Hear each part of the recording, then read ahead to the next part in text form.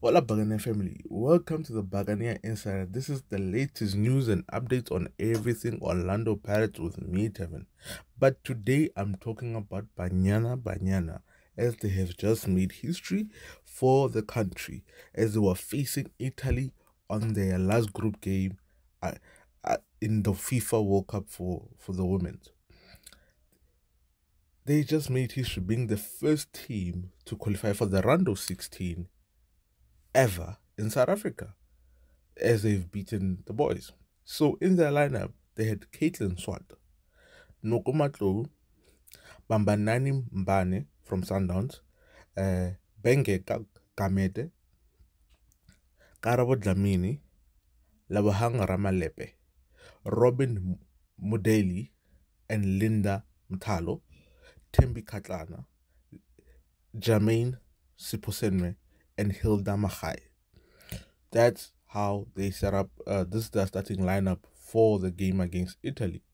So they they set up in a certain way that they were setting up in a four, no, a three four three formation to face Italy, meaning that Desiree Ellis was planning to win the game from the midfield. So that's what he was paying for against Italy.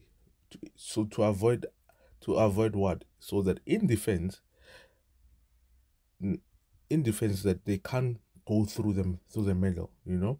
Because when you're trying to win a game like this in this magnitude she made sure that the, the midfield will dominate the game.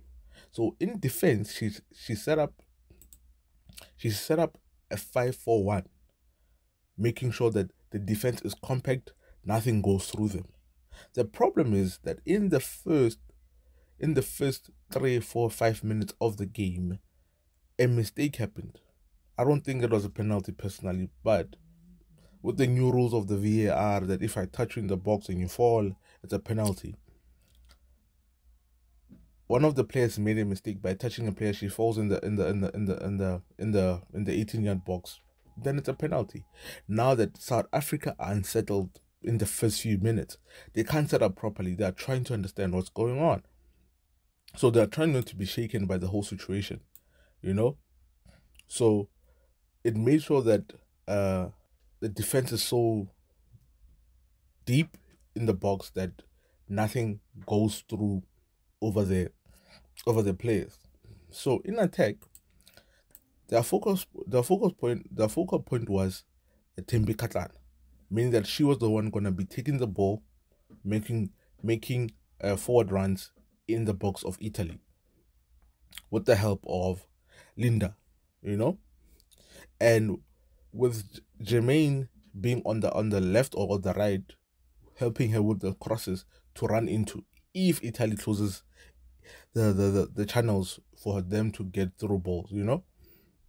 So Robin position was basically on as a pivot to help the, the defense if there's a counter attack, but mostly as a pivot so that Linda can push forward and the, the right wing and the left wing can push forward, even though they were playing left wing back and right wing back, you know? So that's how they set up in the attack. So in the attack, when they're attacking and in the ball in front of them, they had seven players in the Italian box, making sure that they win every second ball, trying to win every second ball. You know? So it it shows the intent of Desiree Ellis from the start. She was trying to win the ball, the ball, the ball early, because they were set up in a way that um Thembi was the one pressing, was the first in initiate when she initiates the press, uh, Linda follows, uh, Jermaine follows, and Hilda follows. You know that they block. If she's gonna attack the keeper, that means now Robin has to come in meaning that the left wings and the left wing backs and the right wing back push up so that there's no there's no way the keeper can give the ball. There's no one the keeper can give the ball to. Understand? So the the problem with this type of formation was that the challenges that South Africa was facing is that whenever the South Africa was pressing, Italy was just throwing the balls through the uh, through the midfield over the defenders, you know, because they have pressed up so high to win the second ball. But guess what? Italy was going through over them every single time. Every single time, it was balls over the defense, balls over the defense. So, which was a very challenging situation for Desiree, you know.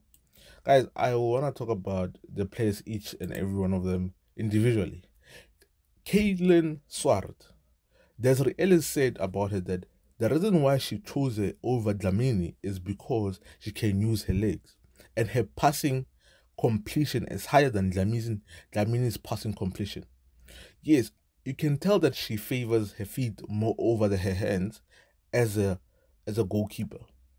But it seems like it's been um, a FIFA World Cup trend where keepers are mostly based on their feet, which is the new thing in football. But you could tell, even if you look at most of the penalties, majority of the penalties that were taken, none of the keepers dived. were trying to save the ball with their feet, which also did what she did. Her one of her brilliant saves were through her feet. Both of her saves were through her feet. Italy almost scored, but guess what? She saved a ball through her feet. That's one thing that she did. Now I want to talk about Noko. I want to talk about Noko Matlou, right? Noko, veteran defender in our team. Being, I think she's like 37 years old. 37 or 47. Between the 37, 47 year old defender that is in our team, taking over from our former captain. She comes in to solidify the defense, making sure that it does not panic in those situations.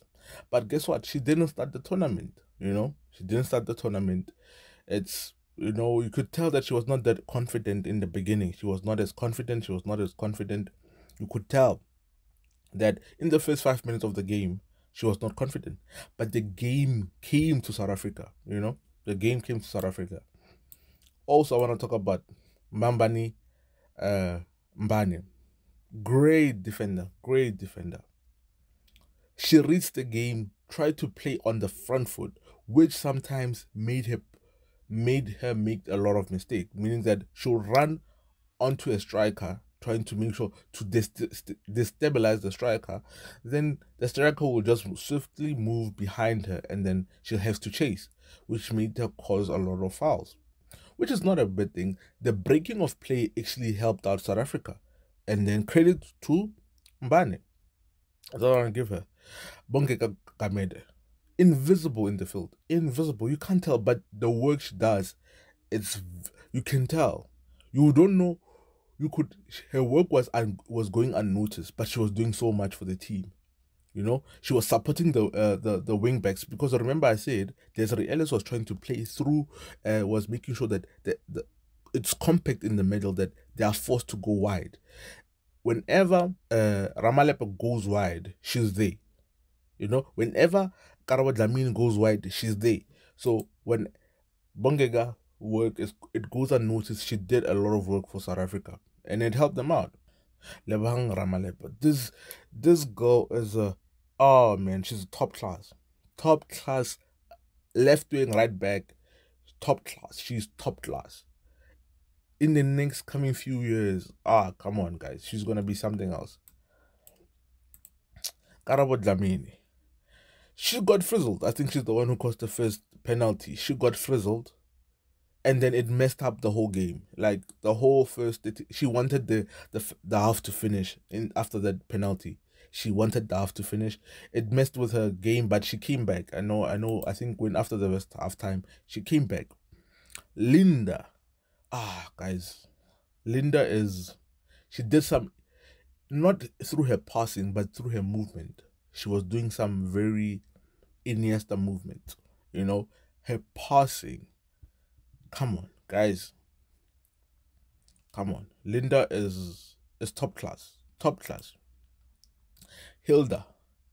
Hilda, if you don't Hilda is one of those players where you need to support her to play it. She plays in half spaces. She plays in triangles. She plays in patterns. That's if you want to get the best out of Hilda, play in patterns. Because once South Africa got the ball in, the, in their position and they had the position of the ball, Hilda was was bright. Like you know when someone is bright in the in the game, Hilda was bright. Whenever South Africa was in position, Hilda was bright.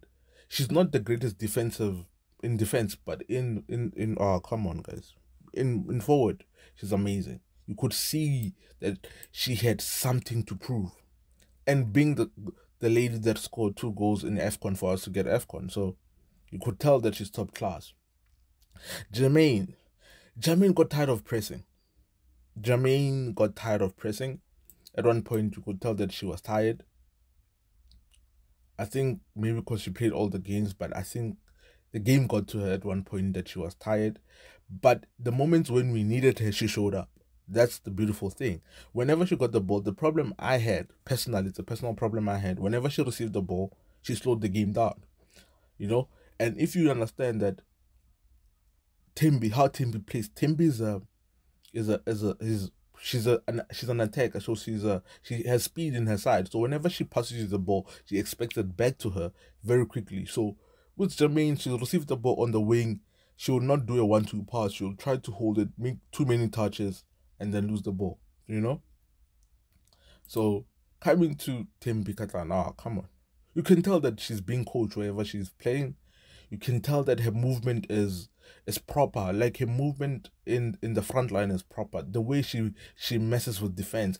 The the the own goal that the Italy scored is because of her pressing. You know, she's been pressing because we she's been pressing the whole game. You know, in the first half she was pressing, she was pressing, she was pressing. She stopped pressing for a few minutes where Italy had the ball, and then the moment Italy played back the ball to the trying to play back to the keeper, she pressed. And guess what? One of the defenders of Italy, guess what? She just heard uh Thembi coming and then tried to pass the keeper. Guess what? The keeper was out of the box and was an own goal. Her pressing really helped out South Africa in this game. Guys, that's all I wanted to share with you about the game. Um wonderful. Certain players you can tell, you know. Our next game is against uh Netherlands. I don't I don't know. It's gonna play in 4 a.m. At, yeah, 4 a.m. games. Oh, New Zealand, in Australia. But yeah, that was a wonderful, wonderful match. It was a very encouraging match.